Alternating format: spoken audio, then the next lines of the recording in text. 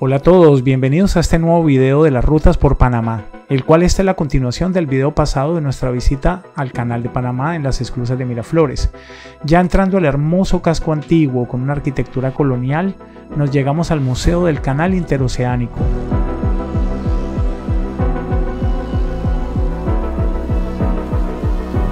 El Museo del Canal Interoceánico de Panamá abrió las puertas por primera vez en el año 1997 para cualquier visitante, llámese local o extranjero, que guste de vivir una experiencia de aprendizaje y entretenimiento acerca de las conservaciones, investigación y difusión de los testimonios de la historia del Canal de Panamá, aquí lo va a encontrar.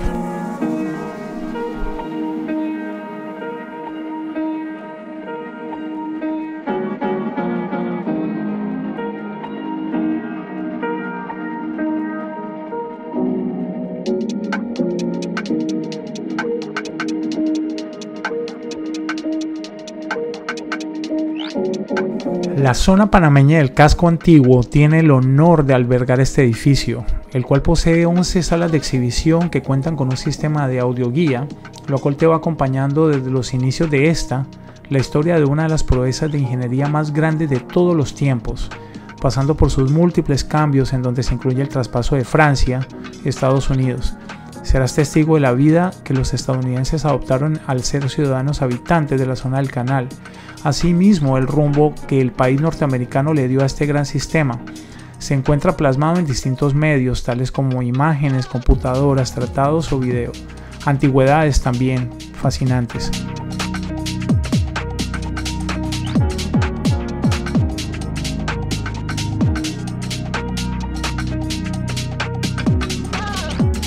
El Museo Interoceánico del Canal, el cual me cuentan los guías y funcionarios que trabajan acá, es una organización que promueve y rescata la memoria histórica de este país y su canal, por supuesto, siendo uno de los destinos turísticos más importantes del país. El patronato del museo rehabilitó el edificio y hoy en día se ve completamente renovado. El recorrido te cuenta el fiel testimonio de la importancia como ruta transísmica, los estudios, exploraciones y el difícil proceso de construcción del canal.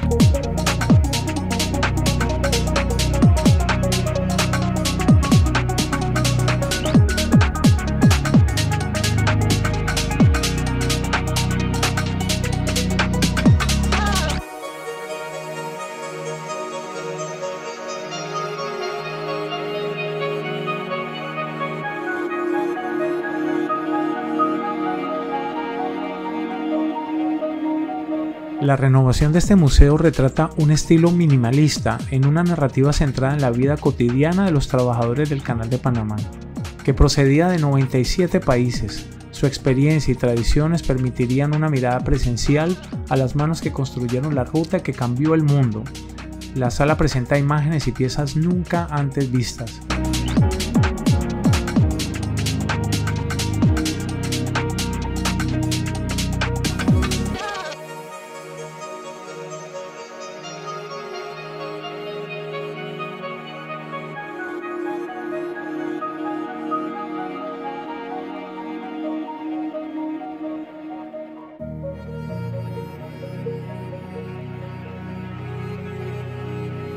Para darles un poco de historia, en el siglo XIX se caracterizó por la realización de los estudios científicos en el istmo para determinar la construcción de un canal.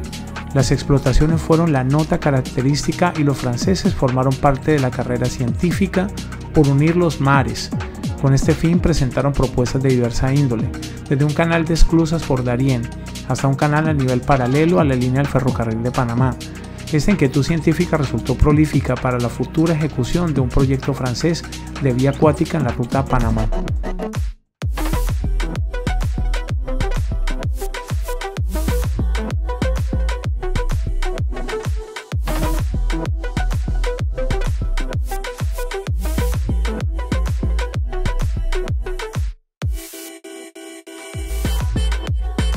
La inventiva de aventureros y científicos vio en la construcción de una vía acuática la última frontera humana. Para entonces un camino o un ferrocarril en el istmo no era lo esperado para unir al mundo, pues este había crecido en avances tecnológicos acortando distancias y comunicaciones con buques que podían circunnavegarlo sin mayores obstáculos, así que para finales del 2019 el paso por la ruta de Panamá precisaba de un cambio significativo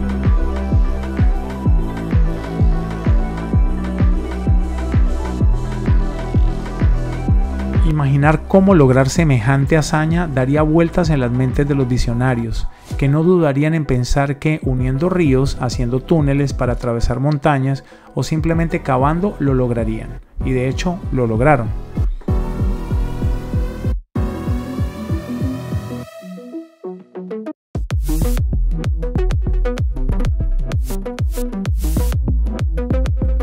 El interés francés del último cuarto del siglo XIX para llevar a cabo la hazaña de unir los mares en el istmo de Panamá no es de sorprender si se hace en cuenta de que en el siglo XVIII estaban presentando propuestas para tal fin. Lo que es diferente para finales del siglo es que los franceses estaban dispuestos a ejecutar una propuesta de vida acuática en el istmo, construir un canal al nivel que una los dos océanos y acorte las distancias. Esta energía francesa resulta de los laureles del Canal del Suez. Como bien saben, el Canal del Suez fue hecho por franceses. Francia estaba en la cumbre de la ingeniería de megaproyectos y otro más pues no le quedaría mal. Sin embargo, lo que le esperaban las cordilleras selváticas del Istmo de Panamá no es nada parecido a las arenas del Canal del Suez.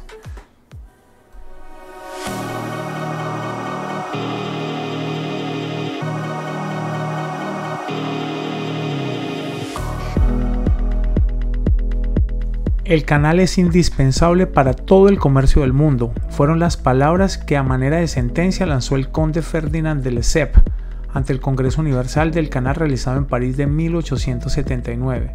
Su inclinación por la ruta Panamá para unir comercialmente al mundo era indudable, tanto como su convicción de poder hacer realidad ese paso acuático en el istmo. Esta no era la primera vez que Lesseps pensaba en unir los mares.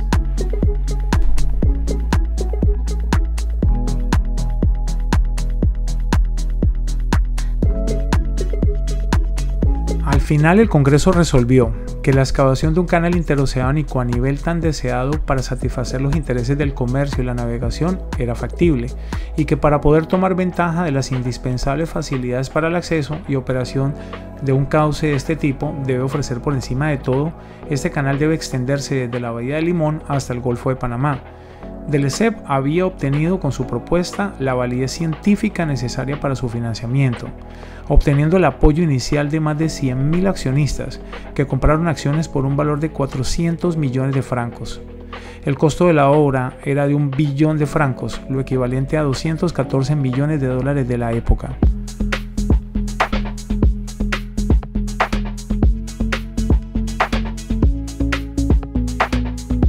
Infortunadamente los franceses fracasaron con la construcción del Canal de Panamá por múltiples razones, como las enfermedades típicas de países tropicales como la malaria, fiebre amarilla, los sobrecostos y algunos casos de corrupción que los llevaron a la quiebra. Finalmente se dieron las concesiones a los estadounidenses.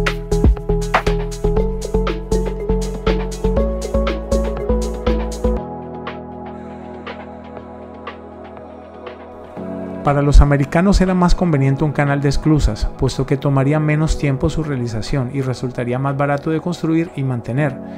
Para ellos un canal de esclusas tomaría solo 8 años, en tanto un canal a nivel tomaría 24 años. Además un canal de esclusas solucionaría la constante preocupación de qué hacer con el Chagres y sus inundaciones, pues represarlo, contener sus aguas en el mayor lago artificial creado hasta entonces.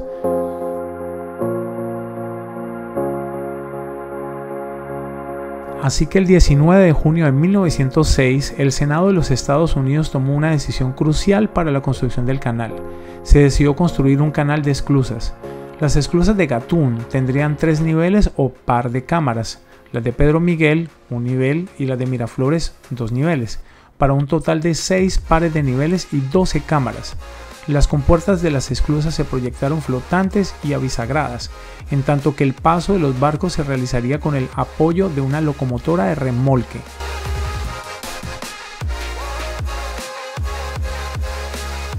A finales del siglo XIX, los Estados Unidos tomaron medidas claves para hacer sentir su poderío a través de las acciones estratégicas que consolidaban su expansionismo colonial.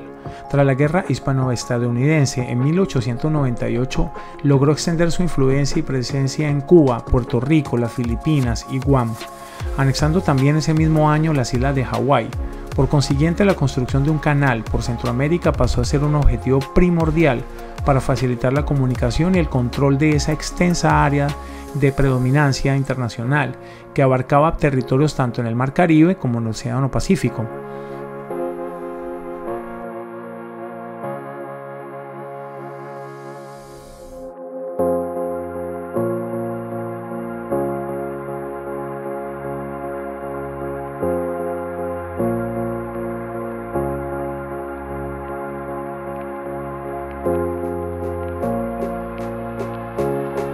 Gobierno estadounidense tomó posesión de las antiguas propiedades de la nueva compañía del canal en mayo de 1904, con la que se estableció de esta manera la zona del canal de Panamá. Tanto la construcción de la obra como la administración de la zona del canal quedaron en manos de la Isthmian Canal Commission. Y si la construcción de la vía acuática resultó ser toda una proeza, el gobierno y la administración del canal y la zona no serían menos complejos.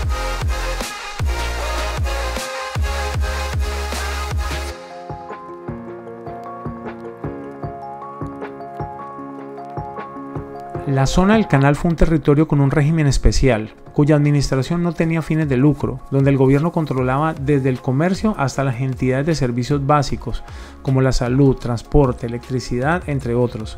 Muchas personas tenían privilegios, en especial la población blanca estadounidense, que desempeñaba labores asociadas al manejo de obras de construcción y estaba encargada de la supervisión del personal. Esto se ve claramente con una instauración de un sistema de planillas, la planilla Gold Roll o Silver Roll o planilla de oro y planilla de plata. Los miembros del Gold Roll, usualmente ciudadanos estadounidenses, tenían mejores salarios, mejores viviendas y acceso a mejores productos en los comisariatos, en comparación con los trabajadores pertenecientes al Silver Roll, quienes provenían de diversas latitudes del mundo.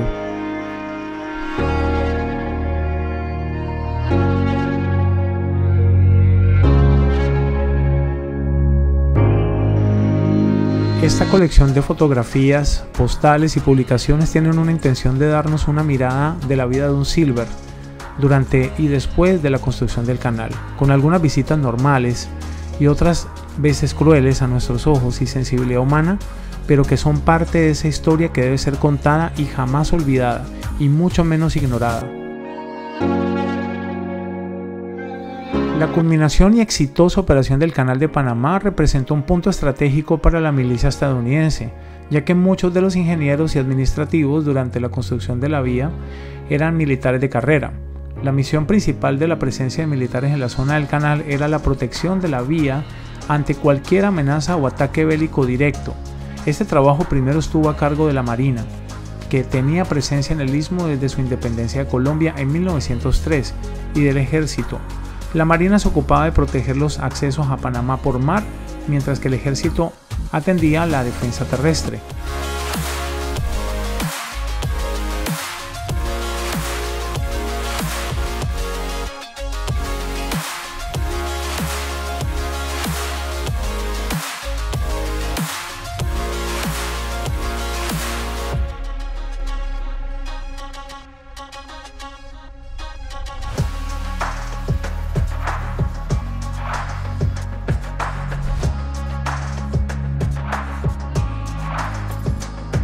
A pesar de que los trabajadores blancos de Gold Roll contaban con viviendas cómodas y beneficios adicionales como acceso a los clubhouses, restaurantes y otras amenidades, el personal militar no tenía acceso a tales lujos y su inferior condición de vida durante la construcción se parecía mucho a los casos de los trabajadores del Silver Roll. Acostumbrarse al clima tropical del Istmo de Panamá con su alta humedad y constantes lluvias también creaba un shock cultural a los recién llegados.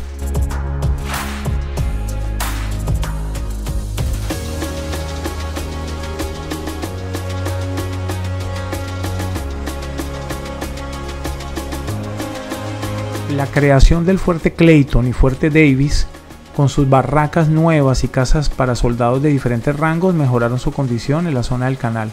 Otras bases militares que fueron construidas posteriormente como Howard y Albrook para la Fuerza Aérea también contaban con viviendas asignadas según el rango.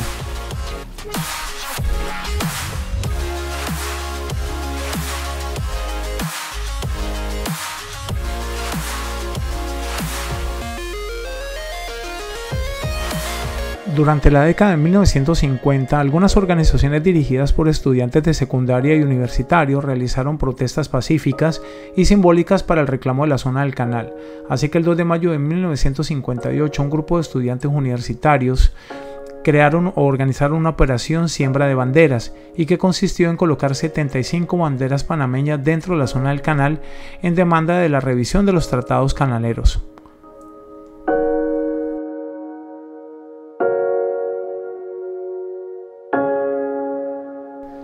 Y la población panameña no estaba dispuesta a dar marcha atrás en sus reivindicaciones y el gobierno estadounidense no podía hacer oídos sordos a sus protestas. Así lentas negociaciones culminaron en un acuerdo en el año 62 entre el presidente Roberto Chari, panameño, y el estadounidense John F. Kennedy, gracias al cual se acabó fijando las banderas de ambos países en la zona del canal, en las zonas civiles. Pero cuando llegó el primero de enero en 1964, fecha en la que debía entrar en vigor la medida, los soneitas ignoraron el acuerdo y las órdenes del propio gobernador de la zona del canal se negaron a izar la bandera panameña.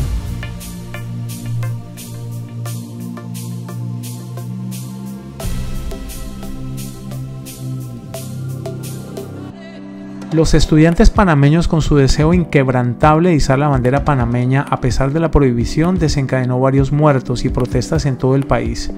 En efecto, la dureza de la respuesta con el que el ejército estadounidense respondió a las movilizaciones llevó al mandatario panameño a anunciar que Panamá interrumpía relaciones diplomáticas con Washington hasta que no se firmara un nuevo tratado entre ambos países. Esta decisión sin precedentes para un país en el que Estados Unidos estaba presente es la que logró que aún hoy muchos se refieran a Chiari en Panamá, o sea, el presidente de la época, como el presidente de la dignidad, la presión internacional fue determinante para que obligara a Washington a que acabara aceptando entablar negociaciones con Panamá. Un complicado y largo diálogo culminó en tratados Torrijos-Carter en 1977, en los que se disolvía la zona del canal y se fijaba la fecha para su traspaso al país centroamericano. Horas antes de despedir el siglo XX, llegó el momento como capítulo final derivado de los sucesos del 9 de enero de 1964, se puso fin oficialmente la histórica presencia de Estados Unidos en Panamá, porque aunque siempre se le llamó Canal de Panamá, desde su inauguración realmente no fue de Panamá hasta aquel día, el 31 de diciembre de 1999.